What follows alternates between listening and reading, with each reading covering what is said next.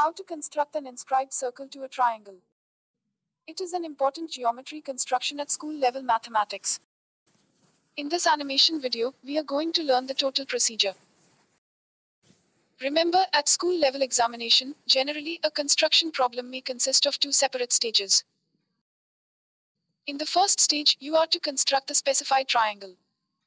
And then, in the second stage, you will draw the inscribed circle. To learn the first stage that is construction of triangle please check other videos from this channel. In this animation video, we are going to learn the second stage that is the construction of the inscribed circle. So, without any delay, let's start. At first, a random triangle is drawn on the middle of the page. Remember, do not draw arbitrary triangle. In school level examination, you have to draw the specific triangle as directed in the question. Let this triangle be named as triangle ABC.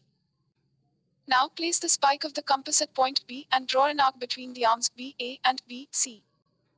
Two intersection points are P and Q. Then place the spike on point P and draw an arc to the opposite side of the point B. A similar arc should also be drawn making point Q as center. Let these two arcs intersect each other at point U.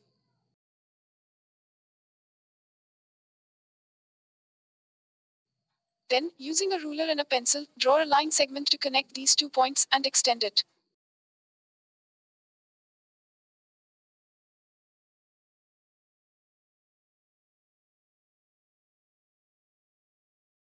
Thus we get the bisector of the angle ABC.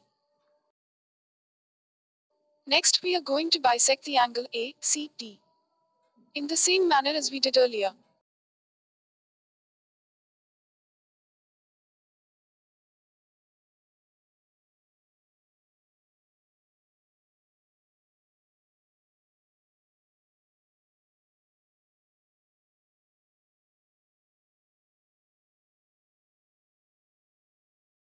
Thus we get another bisector called CV. Let these two bisectors connected at point W. This point W will be the center of the inscribed circle. To get radius of the inscribed circle, we need to draw an arc of a certain radius from point W so that it intersect the line BC twice. These two points of intersection be named as point X and point Y. Two more arcs are drawn, taking point X and point Y as centers. These two arcs joined at point Z.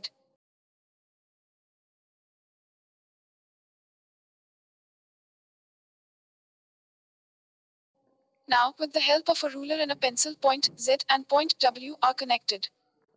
This line intersected the arm BC at point N.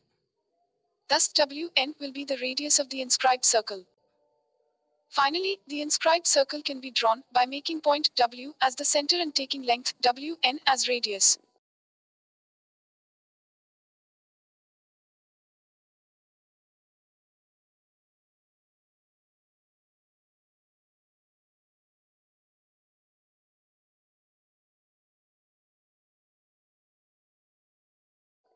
Thank you for watching the video.